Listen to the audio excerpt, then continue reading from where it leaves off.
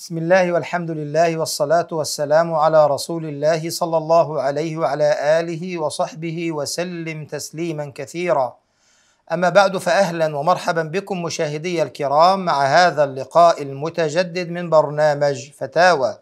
أسأل الله سبحانه وتعالى أن يتقبل مني ومنكم صالح الأعمال وأن يعلمنا ما ينفعنا وأن ينفعنا بما علمنا وأن يرزقنا علما نافعا ورزقا واسعا وعملا صالحا متقبلا. اللهم اجعل ما علمته لنا حجة لنا لا علينا وأعنا على ذكرك وشكرك وحسن عبادتك. هذا ويسعدنا أحبتي أن نستقبل أسئلتكم واستفساراتكم عبر مواقع التواصل الاجتماعي الخاصة بقناة الرحمة والتي تظهر تباعا على الشاشة. ومما ورد أحبتي من الأسئلة سائل يسأل ويقول قرأت حديث أبي أمامة رضي الله عنه عن النبي صلى الله عليه وسلم قال من غدا إلى المسجد لا يريد إلا أن يتعلم خيرا أو يعلم كان له كأجر حاج فهل يجوز في يوم الجمعة أن أضيف عليه نية الذهاب لقضاء فريضة على نية الذهاب؟ يقول هل يجوز في يوم الجمعة وأنا ذاهب لخطبة الجمعة يعني؟ أن أضيف على نية الذهاب لقضاء فريضة الجمعة نية تعلم الخير لعملا بهذا الحديث أقول بالله التوفيق. نعم هذا الحديث حسنه بعض أهل العلم منهم الشيخ الألباني عليه رحمة الله تعالى ويجوز لك أن تضيف هذه النية بفضل الله عند أي مجلس مجلس علم في بيت من بيوت الله سبحانه وتعالى. وكذلك يصح عند خطبة الجمعة. أسأل الله عز وجل أن يتقبل منا جميعا صالح الأعمال. أخي تعذر في أمر وكانت زوجته ستحبس خلعت خاتمي من وراء زوجي ودون علمه وأعطيته له على أن يفك كربه. ثم يرد لي الخاتم يعني أعطته الخاتم الذهب على سبيل السلفة.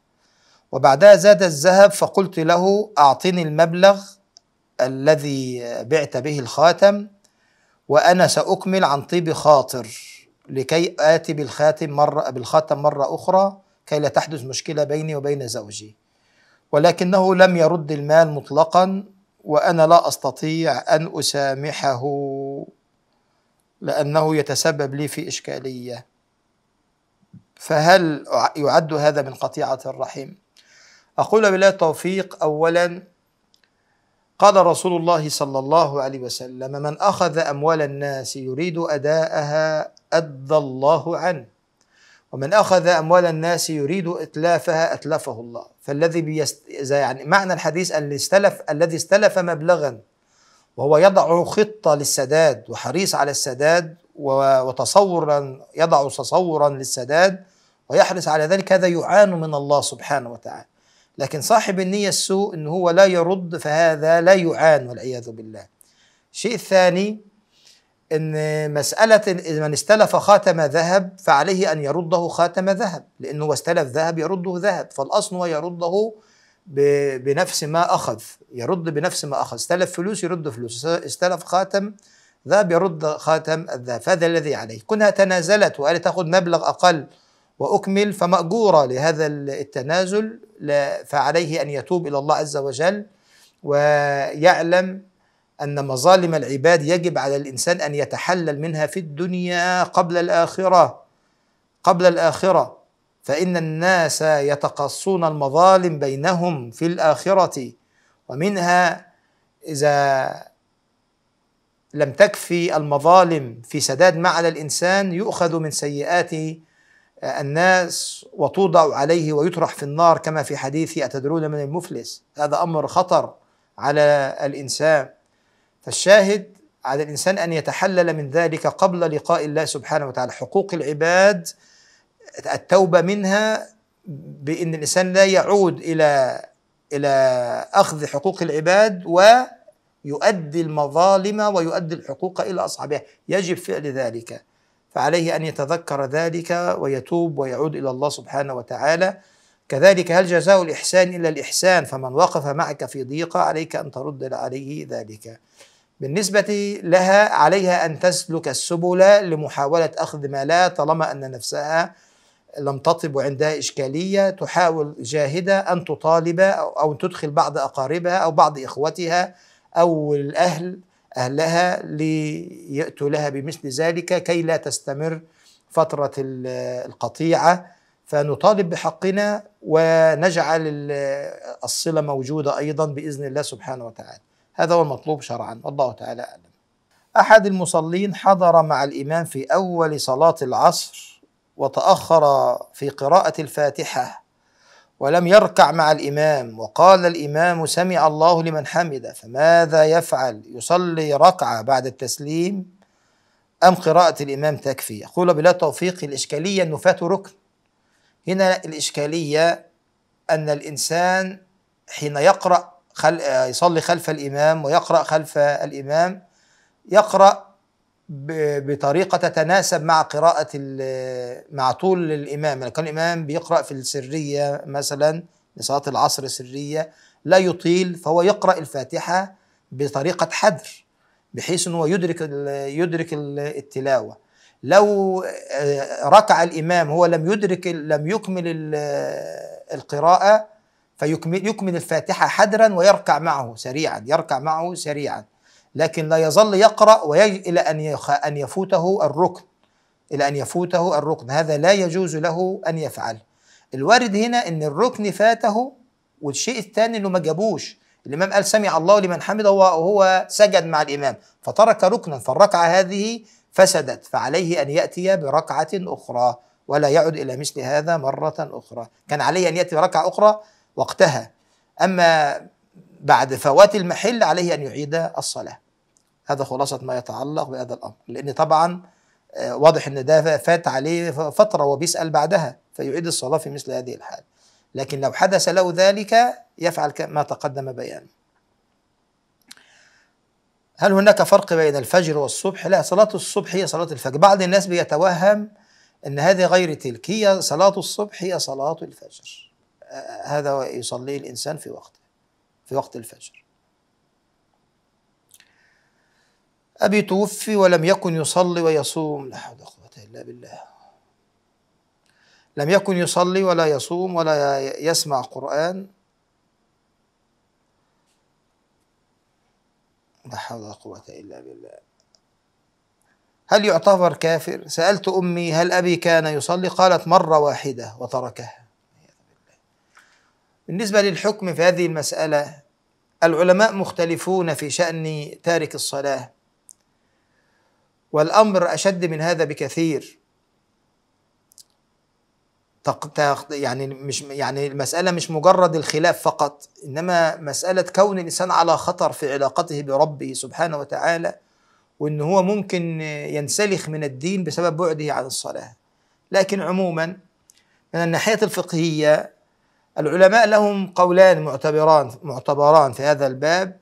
منهم من رأى كفر تارك الصلاة مطلقا واستدلوا على ذلك بنصوص ظاهرها ذلك منها عموم قول النبي صلى الله عليه وسلم العهد الذي بيننا وبينهم أي المشركين العهد الذي بيننا وبينهم الصلاة من تركها فقد كفر.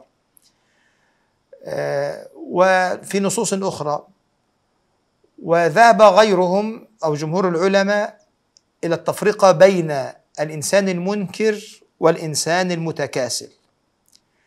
لتضييق الخلاف هم اتفقوا على أن على أن تارك الصلاة في أقل أحوال لحال التكاسل على أكبر كبيرة من الكبائر الإسلام أشد من الزنا وأشد من السرقة. حسبنا أن العلماء اختلفوا. هل ما زال في حظيرة الإسلام أم خرج منها؟ فحظ الإنسان من الإسلام على قدر حظه من الصلاة. فلذلك قالوا إذا كان يتكاسل يصلي أحيانا ويتكاسل أحيانا فهذا مرتكب لكبيرة من أكبر الكبائر من أكبر الكبائر. وأمره إلى الله سبحانه آه، وتعالى. وعلى أهله أن يكسروا من فعل الأعمال الصالحة بالنسبة له طالما أنه توفي سواء كان صلاة دعاء معذرة سواء كان حج أو عمرة أو دعاء أو صدقة إلى غير ذلك فهو يحتاج كثيرا إلى مثل ذلك. أما إذا كان تركها جحودا أو بجحود بعضها فهذا كفر كفر بواح والعياذ بالله. فواضح إنه كونه صلى أحيانا فيعرف إنه كان على خطر عظيم والمساله ليست امرا هينا بل والخلاف فيه معتبر. خلاف قوي جدا ليس هذا مقام بيانه. الخلاف فيه معتبر. فالمسألة ليست امرا هينا. ترك الصلاة ليس امرا هينا في دين الله سبحانه. مما يجعلنا نعرف خطورة الأمر أن الله قال سبحانه وتعالى في كتابه الكريم فويل للمصلين الذين هم عن صلاتهم ساهون. هؤلاء لم يتركوها بالكلية الذين توعدوا بالويل. بالويل. لم يتركوها بالكلية وإنما كان يتركها بدون عذر إلى أن يدخل وقت الصلاة الأخرى بيؤخرها عن وقتها. إن الصلاة كانت على المؤمنين كتابا موقوتا يخرجها عن وقتها دون عذر. هذا له هذا الوعيد. فما بالنا بمن تركها بالكلية فخاب وخسر من لم يرفع بها رأسا خاب وخسر من لم يرفع بها رأسا ويناجي بها ربه سبحانه وتعالى. فمسألة ليست أمرا هينا لكن خلاصة المقام الراجح معنا أن من تركها تكاسلا فهو على أكبر كبيرة عليه أن يتوب إلى الله ويعود إلى الله ويكسب الأعمال الصالحة ويكسر من السنن ويكسر من النوافل قدر استطاعته وعلى قدر الندم وحسن التوبة. يتوب الله الله على من تاب ومن مات فيفعل له الكثير من الأعمال الصالحة. أما من تركها جحودا فهذا بالاتفاق خرج من الملة والعياذ بالله. في سؤال تعبت في رمضان السابق وقال لي الدكتور عليك الفطر. عليك فأفطرت ثلاثة عشر آه، في ثلاثة عشر يوما ثم لم أستطع. ماذا أفعل؟ لو مر بي لو استمرت بي عدم الاستطاعة. أقول إلى أن يأتي رمضان الذي سيأتي بإذن الله عز وجل. لو فرضنا أن الاستطاعة هذه ظل عدم الاستطاعة ظلت موجودة. أقول وبالله التوفيق بفضل الله ما زال الأمر الآن لسه إن شاء الله في متسع. والمرض طالما يرجى برؤه فالإنسان ينتظر إلى أن يشفيه الله عز وجل ويسارع إلى قضاء ما ما عليه. لكن لو فرض واستمر المرض إلى ان وظن انه لن يشفى قبل أن يأتي رمضان الذي يليه فعلى ذلك في هذه الحالة يطعم عن كل يوم مسكينا. والله تعالى أعلم. إذا كان المرض سيستمر به آه، ولا يرجى آه، البرء أو لا يرجى الشفاء فيطعم عن كل يوم مسكينا. والله تعالى أعلم.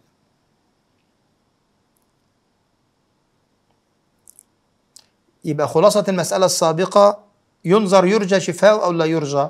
إذا كان يرجى شفاء ينتظر إلى أن يشفى ويقدم عليه. لا يرجى شفاؤه يطعم عن كل يوم مسكين. مسألة السؤال الذي يلي هذا أعمل في التجارة وجميع أموالي في السوق عند العملاء ديون وأقساط. وهي تبلغ النصاب ولكن لا أملكها في يدي. وحان موعد الزكاة ماذا أفعل؟ أقول بالله التوفيق. أموال الإنسان الموجودة عند الناس اللي الديون التي له عند الناس لا تخلو من حالين.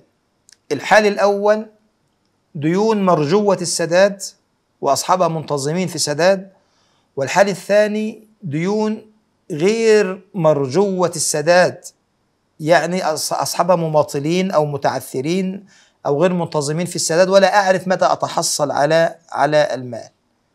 بتدخل في ديون في عرف التجارة القسم الثاني ده بيدخل في ديون معدومة أو شبه معدومة إنما فيش انتظام في السداد أو تعثر ومش عارف هيدفع إمتى بقية المال الذي عليه يدفع على فترات متباعدة أو ما بيدفعش.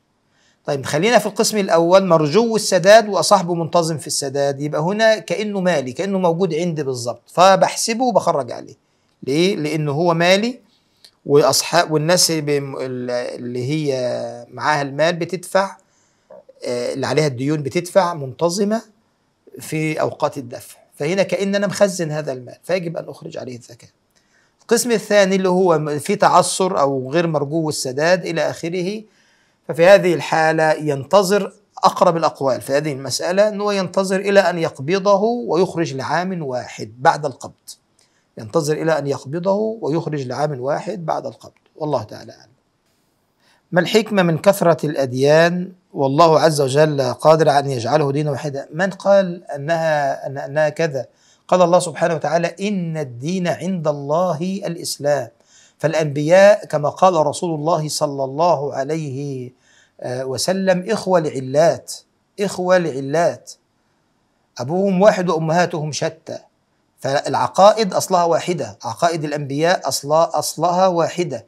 و و والأنبياء جاءت ودعوا قومهم إلى أن يسلموا لله سبحانه وتعالى وأن يسلموا لرب آه، العالمين. آه، فعقائد الأنبياء من ناحية العقائد العقيدة واحدة لكن اللي بتختلف الشرائع الأحكام الفقهية والتعام وأحكام المعاملات والحلال والحرام هذه اللي بتختلف. لماذا؟ اختبار من الله لعباده سبحانه وتعالى. لأن الإنسان في هذه الدنيا ممتحن مختبر. ففي هذه الحالة يختبره الله سبحانه وتعالى بامتثال أوامره. حين جاء نسخ من الله لشريعة على لسان نبي جاء نبي بشرعة العقائد كلها واحدة الدين واحد إن الدين عند الله الإسلام. خلاص كله واحد. لكن الشرائع بقى مختلفة اللي هي بتتعبد بها لله سبحانه وتعالى. فيأتي وينسخ شيء و ويأتي بشيء آخر بوحي من الله سبحانه وتعالى العبد يجب أن يمتثل أمر الله لأنه هو عبد لله. فلتتحقق العبودية عليه أن يسير وفق أمر الله سبحانه وتعالى وليس وفق هوى عباده الله أحبتي ليست للهوى ليست لهوى الإنسان.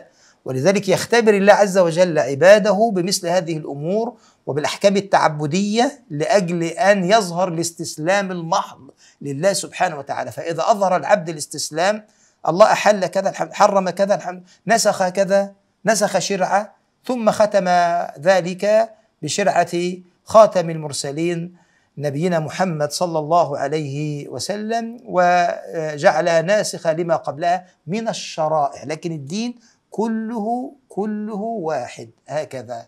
الدين كله كله واحد. فلذلك آه، المعنى اللي, وارد عند السائل فيه مشكلة يعني إن هو ظان إن هي أشياء مختلفة لا هي دين واحد ورسالة واحدة من الله سبحانه وتعالى لكن اللي بتختلف الشرائع اختبارا من الله لعباده سبحانه وتعالى. بل في الشرعة الواحدة ربنا سبحانه وتعالى أحيانا يعطي أحكام تعبدية محضة. لا. أحكام فيها حكم تظهر الحكم منها أحكام تعبدية عشان يظهر العبد افتقاره إلى الله استسلامه لله سبحانه وتعالى. فمعنى إن العبد أسلم اي استسلم وانقاد إلى الله سبحانه وتعالى. فهكذا.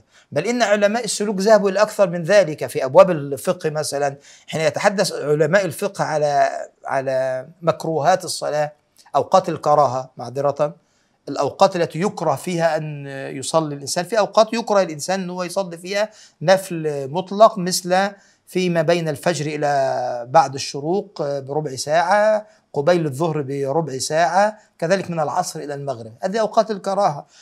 العلماء ذكروا فيها حكم تربوية أيضا غير الأحكام الفقهية المعروفة ذكروا فيها حكما تربوية قالوا منها أن يعلم العبد أنه متعبد لله سبحانه وتعالى بهذه الأوقات.